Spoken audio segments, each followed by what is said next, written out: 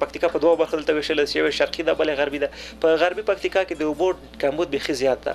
نو د دغه اوبو د کمبود د حل لپاره بعضی ډمونه یا بندونه موږ جوړ کړی دي او جوړوي او په بعضی مناسبو موقعیتونو کې له هغه نه روسته بل یو ډیر خاصه سیستم چې اوس په نړۍ کې تقریبا مروج سیستم ده د ډریپ ایریګیشن یا د څاڅکو اوبو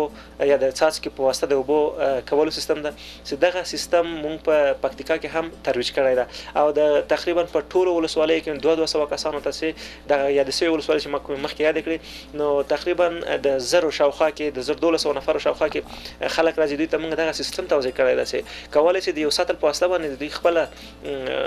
سبزیجات یا کوم فصل چې دوی کري هغه ترې بیاري کړي او د هغه نه ښه حاصل لاسته راوړي په ډېرې کمې اوبو باندې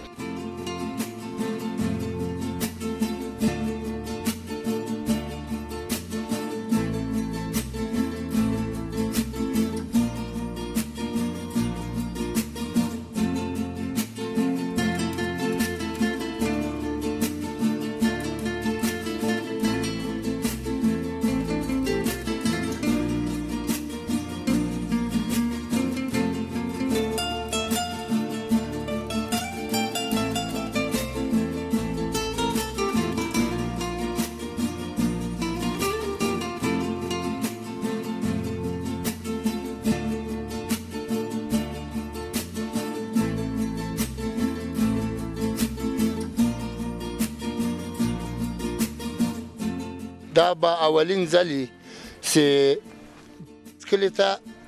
کار ورکړ شوی ده یعنی د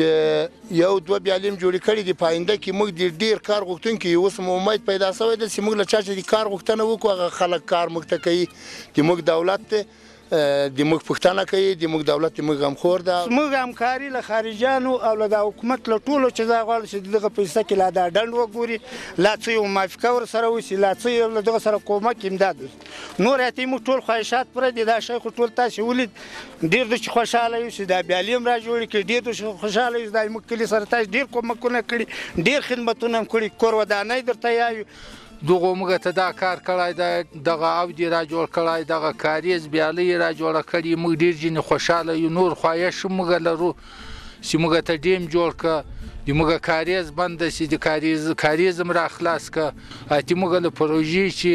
له پیارټی چی له ولسواله چی له ټولو چی همکاری غواړو چی له موږ سره د همکاری وک. که نور هر څومره زیات کار راسی انشاالله دلته یی امونیت مکمل نیول کیږی او موږ نورو کارو ته بیخی ضرورت لرو د دی کلی مقصد بیخی ډیر خلک بیکاره دغسی پاته دی چی نور کارونه راسی انشاالله دی ټول خلک برخه پکی اخلی.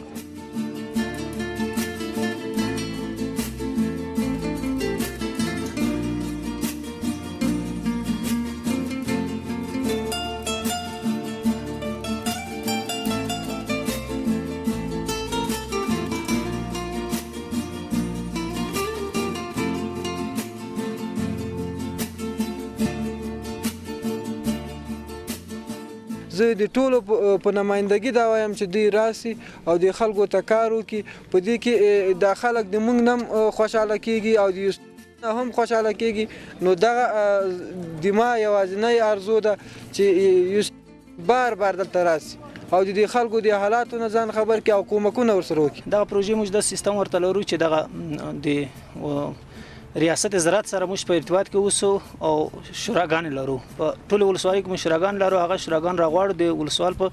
نمایندګۍ باندې ولسوالو په حضور باندې بیا هغه ځای کې چې موږ زیات مشکل لرو د پروژې لپاره زیات مهم وي هغه ځای موږ ګورو الته پروژې عملی کوو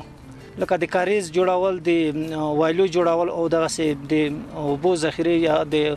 اوبو هغه منابع چې هغه اوبو ځنې راځي لکه مقصد موږ ورته وایي چې نه په هغې باندې موږ زیات کار کوو ځکه چې دا خلک هم ډېر خوشحاله دي او واقعاً چې دغه یو اساسي کار دی موږ د خلکو لپاره کوو او خلک هم زموږ څخه دغه غوښتنه لري چې موږ دغه کارونه ورته وکړو